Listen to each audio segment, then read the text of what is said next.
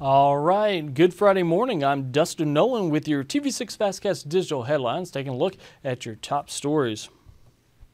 And there is plenty of events going on around the QCA this weekend. Tomorrow, River Action is looking to break a world record with Floatzilla. They hope to break the world record of over 3,100 kayaks and canoes. Registration for Floatzilla is $45. We have a link to that and the locations for packet pickup on our website. And then tomorrow at uh, LeClaire Park in Davenport, Riverfront Pops bring you the uh, music of Led Zeppelin. The concert starts at 7.30 and ends with a fireworks display. And then, I told you it was a busy weekend.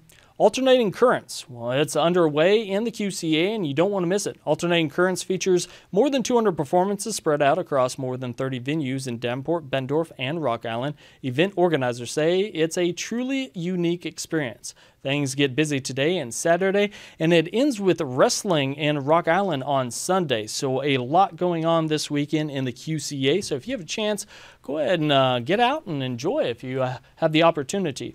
Uh, but for now, that was your TV6 Fastcast digital headlines for your Friday morning. I'm Dustin Nolan. Have a great day and have a safe weekend.